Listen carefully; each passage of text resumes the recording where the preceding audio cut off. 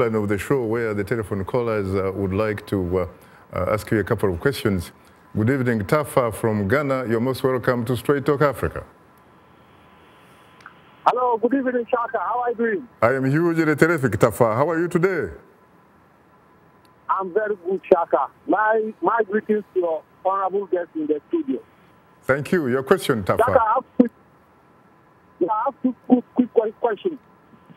Uh, Shaka, many, many Africans have a belief, including me, that there's no way President of the United States will pay a visit to somebody that they knew that have some criminal issue on his head.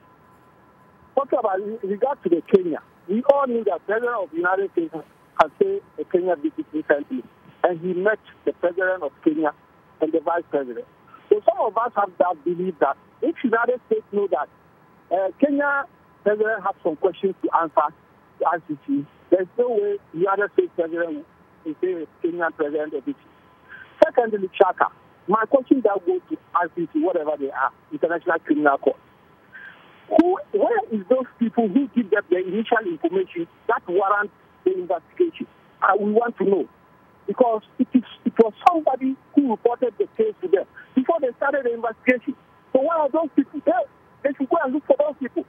We want to know what happened, the initial information that they have. Based on that, they initiate the investigation against the Kenyan president and the vice president. Shaka, thank you very much. You're most welcome. Let's go to Nigeria. Good evening, Patrick. You're most welcome. Straight Talk Africa.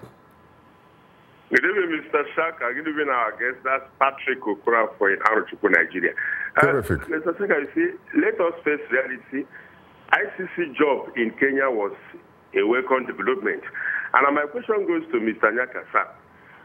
If ICC did not go to Kenya, do you agree with me that many African leaders could have turned election in their country to be do or die, true or false. Thank you very much. Thank you. Let's go to Cliff from Uganda. Cliff, you're most welcome Straight Talk Africa. Ishaka, how are you? I am hugely terrific, Sam, but you are called Cliff. How are you? Um, um, um, uh, uh, before the, ICC prosecute all the African cases. Uh, what if Bosnia say that, wait a minute, their action forces and uh, acts against uh, humanity in Iraq, North America, Syria, Palestine, the participation with Israel, Colombia, and uh, why can't the ICC cover widely the scope of investigation greatly and not to target all the African states. Thank you, Shaka, and have a nice time. You're most welcome. Uh, uh, Gnaka, you want to respond to yeah, the, the, question? The first one was about uh, the, the, second Kenya. one from Nigeria. No, no, about Kenya. Uh, about I could not hear clearly, but I know that yes, it was difficult. But what I think I've understood uh, is that about Kenya, if you know the ICC does not go there, and it's, it's not a, it may be an opportunity for African leaders, you know, to do fraud around the election and then and then stay in power. But first of all, we have to agree that all of us, if the international tribunal or international jurisdiction can be fair, we agree. Uh, we know the UN, you know, we, we, you know, so I do not want to go into that, but we can look at the UN the way it's functioning. So if there is something that is there, you know, that is fair, we will agree. But in the case of Kenya, there are two things that I forgot to say that I'm going to say now. First, if they want to go after Uhuru Kenyatta, or, or, or, they should have gone also after Kibaki, or they should have gone after Raila Odinga. And that the very Raila Odinga that uh, Sylvia mentioned, we know that the West favored him, and then everything that was put into place under the pressure of the West was to eliminate Uhuru Kenyatta, you know, to, so that, you know, to give a competitive advantage to Raila Odinga on fairness in the case of Kenya, just in the beginning. First thing. Second, uh, we can see, for instance, that we can say, you know, we have to go after the U.S. or we have to go after. I don't talk about things, you know, that I cannot master. In that case, it is almost impossible because the Security Council is in the hands of a few and would decide for global politics. So we're not going to dream of America being prosecuted by the International Criminal Court. But I think we should also, frankly, point out that uh, if that were to happen in the United States of America, the incumbent president would be impeached.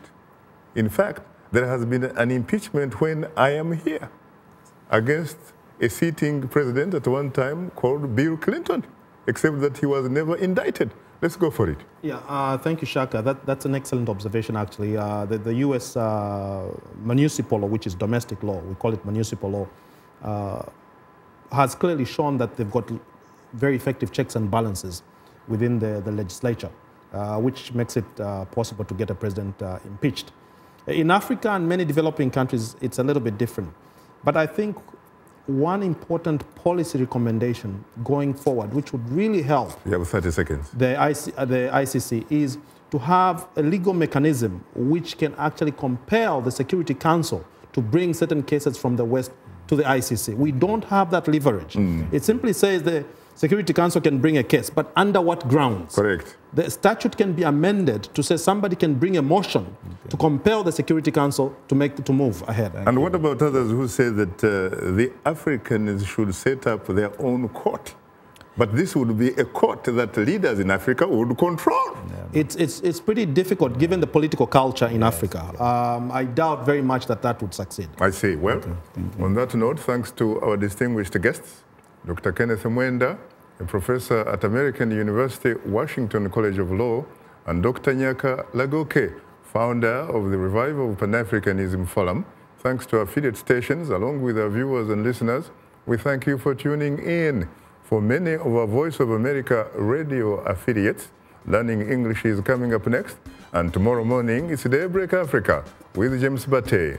On behalf of the Voice of America, thanks for tuning in to Straight Talk Africa. In the meantime, get better, not better Africa. And please remember to keep the African hopes alive.